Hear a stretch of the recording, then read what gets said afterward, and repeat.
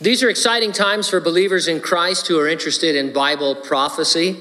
Many things that are suggested by unfulfilled future prophecies seem to be trending out in the world. So we reserve a few minutes Sunday morning to discuss some of those things. We're careful to use recognized, reliable sources for our news and information. We're not saying the things we report are the fulfillment of prophecy, only that they're things you'd expect from reading the Bible literally. We've all heard of the mark of the beast. It will, during the future Great Tribulation, involve a global economic system by which a person will buy, sell, and be identified by something on or in their head uh, or hand.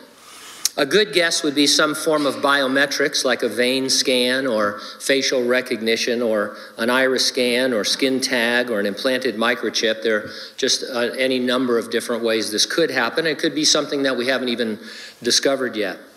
One aspect of this future mark is that you must have it to participate in society. It uh, won't really be optional, or it'll be optional in the sense that you don't have to take it, but if you don't take it, you won't be able to buy or sell anything or do anything. Now, the mark itself isn't the technology. Uh, that will exist going into the tribulation, it seems. And then the Antichrist, when he reveals himself and his nefarious plans, he'll say, Hey, I am now going to control your life completely and if you don't swear allegiance to me, worship me as God, you're going to be cut off from all goods and services and, and stuff. So, uh, what I want to concentrate on this morning is this idea of uh, participating in something on a mandatory basis. Until recently, until you lived, unless you lived in China, it's been hard to believe that such a thing could be forced upon a freedom loving public. But in just a few months, COVID 19 has effectively changed that. Around the world, citizens are going to be forced, it seems, to receive vaccinations or suffer consequences. One other thing, uh, I'm not getting off track this morning on my opinion or any opinion about the vaccines. We're just talking about the situation by which they may require them. I read an article titled Spain to register those who refuse COVID vaccine and share registry with other countries. Here's some excerpts from that article. Vaccinations against COVID 19, which will begin on December 27th in Spain, will be voluntary, but the Ministry of Health said that it will register those who refuse. Those who don't wish to be immunized against virus will not remain anonymous. Newsweek recently reported that France may limit the use of public transportation to people who do not take the vaccine.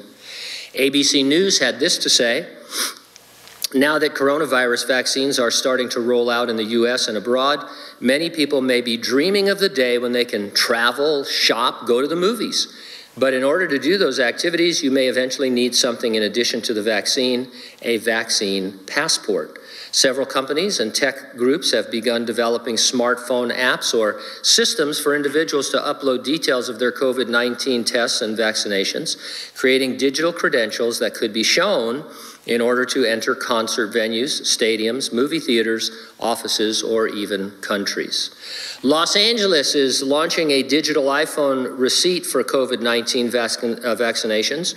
Bloomberg reported that the plan being rolled out this week will see LA County partner with tech firm Healthvana to issue the digital verifications, which can be put in Apple Wallet or the Android equivalent. The project is initially aimed at ensuring that people who get the first shot of the approved Pfizer or Moderna, uh, Moderna vaccines will also get the required booster shot. But the digital receipt could also be used to prove to airlines or schools or whoever that a person has been vaccinated. The Equal Employment Opportunity Commission says this any employer can mandate the COVID 19 vaccine provided they accommodate religious and disability related objections, and the employee receives it from a provider that does not contract with the employer. If you refuse to get vaccinated, you may be worried about being fired. Possible alternatives include asking them to take a leave of absence or to work remotely. If an employee cannot get vaccinated because of a disability or sincerely held religious belief, and there is no reasonable accommodation possible, then an employer could exclude the employee from physically entering the workplace. Dr. Fauci, I don't have the quote in front of me, but I know this week he's talked about uh, the vaccines becoming mandatory at some point. At the same time, rights to privacy are being taken away. We are giving them away. A new survey finds that, and I quote, Researchers say two in three U.S. adults don't care if their smart devices are always listening to what they say. More and more people are choosing convenience over privacy. It's especially true when it comes to owning smartphones. Now, this could go in a lot of different directions. As I said earlier, we're never making predictions or saying that something is fulfilled. It's just that if you look back in the book of the Revelation, John saw a time in which there would be a mandatory participation in some kind of enrollment system, and without your participation, you wouldn't be able to buy or sell anything, or you'd have certain rights curtailed.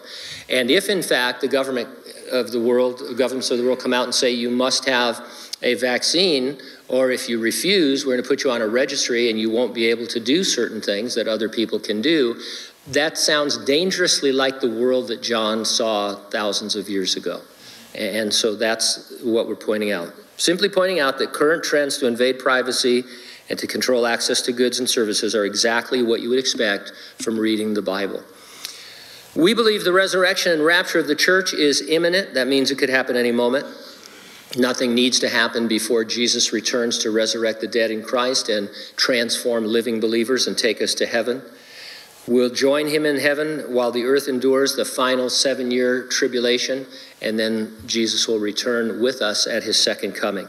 Are you ready for the rapture? If not, you need to get ready and stay ready and keep looking up because, ready or not, Jesus is coming. Amen.